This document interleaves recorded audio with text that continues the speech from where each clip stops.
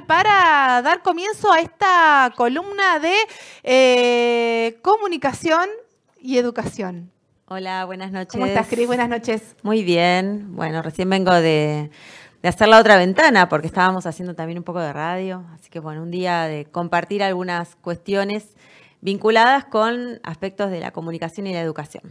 Así es. ¿Y hoy con qué, con qué vamos a estar? Hoy venía a compartirles un material que generamos desde la universidad eh, en la cátedra de comunicación y política con los estudiantes de comunicación. Estuvimos haciendo una entrevista a Leonel Herrera analizando la comunicación de Nayib Bukele en El Salvador y comparándola con la situación de Milei aquí en Argentina. Sabemos que mm, la situación es crítica. Ayer hubo una charla en la universidad sobre que se llamaba libertad de expresión entre, entre signos de pregunta, donde em, docentes y estudiantes y abierta al público en general nos preguntábamos y analizábamos cuál era la situación de las políticas de comunicación en nuestro país. Hoy a la tarde en la Universidad del Comahue también se realizó una charla vinculada con las políticas de comunicación. Eh, en el marco de las actividades que se están haciendo por el paro activo que están haciendo los docentes universitarios hoy y mañana.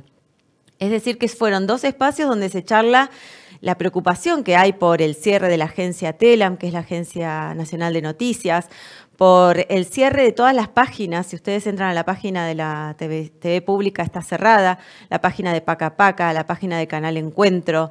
Esto sumado a la censura que hay en, muchos eh, lugares, por ejemplo, eh, algunos temas no pueden hablar los trabajadores de la, radio pública, ¿no? Entonces, estamos en una situación grave, sumado a que hay eh, estrategias de comunicación del gobierno que pasa solo por las redes sociales. ¿Qué pasa en otro eh, país de Centroamérica, que es El Salvador? Esta vez en el fin de semana asumió Nayib Bukele su segundo mandato, a pesar de que la constitución de ese país lo prohibía.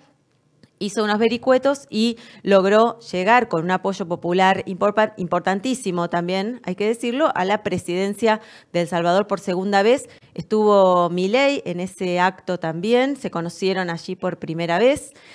Y bueno, en la universidad charlábamos eh, sobre estas cuestiones con la gente del Salvador. ¿Cómo ven las estrategias de comunicación de, eh, de Nayib Bukele allí en El Salvador y cómo se pueden comparar con lo que está pasando en Argentina? Escuchemos a Leonel Herrera que dialogaba de esta manera con los estudiantes de la carrera.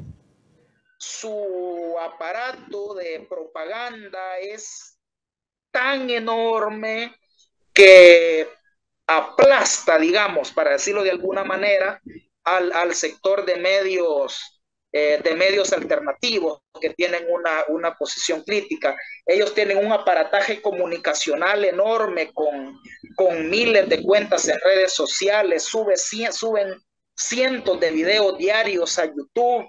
Eh, el otro día eh, yo estuve en la presentación de una escucha digital donde quienes nos lo habían hecho decían que el el, oigan el dato, el 94% de todos los contenidos políticos de las principales redes y plataformas, o sea, Facebook, Twitter, eh, YouTube, Instagram, TikTok, que el, el 94% correspondían al oficialismo, es decir, al gobierno, al partido de gobierno, a Bukele, a los youtubers de Bukele, el 94 y solo el 6% correspondía a la oposición en su conjunto.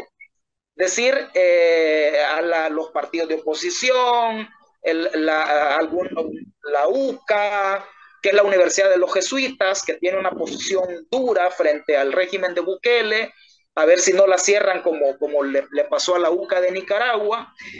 Eh, entonces, el, el 6, entonces estos tipos dominan absolutamente el ámbito de las, de las, de las redes sociales. Eh, otra escucha digital que también conocí decía que el oficialismo tardaba, escuchen este dato también es interesante, el oficialismo tardaba, con todo su aparato de comunicación, tardaba cinco horas en colocar un tema cinco horas en posicionarlo, en convertirlo en... Yo no soy experto en, redes sociales, pero digamos en convertirlo en tendencia, en, que sea un tema dominante, cinco horas, mientras que la oposición tardaba 150 horas. Entonces ustedes pueden ver que la, diferencia eh, ellos tienen eh, cientos de granjas de troles, de cuartos de guerra digital. Eh, con eso buscan aplastar, digamos, contrapeso informativo que pueda, que pueda haber. Y ellos utilizan mucho, este, esto no lo digo en el artículo, pero ellos, eh, ellos, eh, cada semana, digamos, eh, Bukele lo que hace es lanza un, un, hace un hecho propagandístico. Por ejemplo, él anunció yo no sé si así hará mi ley, pero digamos, Bukele hace cosas como estas. Él dice que eh, hoy El Salvador ya es potencia nuclear. ¿ah? puede ser potencia nuclear Argentina, puede aspirar a ser potencia nuclear, pero, pero El Salvador, entonces Bukele dice, El Salvador ya es potencia nuclear, vamos a instalar una planta nuclear. Ese hecho de propaganda que lo difuminan todo el, aparata, el aparataje comunicacional y digital, el efecto le dura semana y media. En semana y media lanza otro. Por ejemplo, en semana, semana y media después de la, del anuncio de éramos potencia nuclear, eh, lanzó el que eh, iba a otorgar eh, 5 mil pasaportes gratis a los primeros mejores 5 mil científicos eh, ingenieros que vinieran a El Salvador. hoy no ha ni uno. Ah, pero hizo el, ese anuncio. Eso lo, lo alimenta una, una, alimenta una, una realidad paralela. Es decir, hay, hay, hay dos realidades, digamos. Está la realidad, valga la redundancia, real, concreta, y hay una realidad paralela creada por, por, por, el, por esta estrategia comunicacional.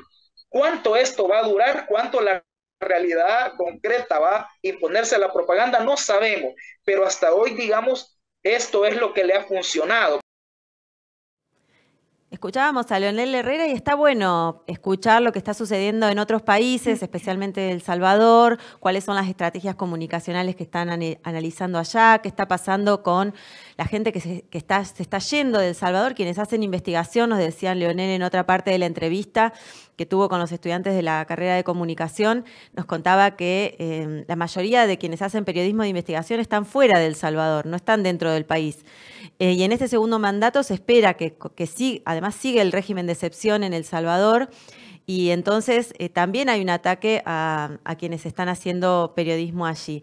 Esto sumado en Argentina, si vemos la situación de la, de la cuestión de los medios públicos en nuestro país, la situación de la agencia TELAM, bueno, tenemos que estar atentos y atentas a todas las cuestiones comunicacionales porque nos marcan de qué tenemos que hablar, ¿no? Y en las redes sociales esto está muy controlado por quienes hacen negocios a través de las redes sociales. Por eso también la tarea de los medios comunitarios la seguimos valorando.